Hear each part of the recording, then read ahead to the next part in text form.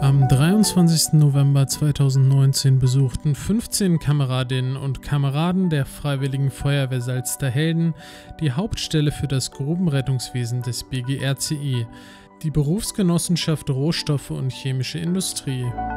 In Klausthal-Zellerfeld absolvierten die zehn mitgereisten Atemschutzgeräteträger die Atemschutzübungsstrecke.